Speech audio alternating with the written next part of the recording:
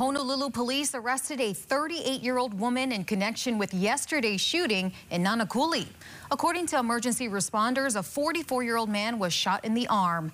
EMS was called to the scene on Farrington Highway near Hakimo Road around 3.30 in the afternoon. At last check, the suspect remains in custody.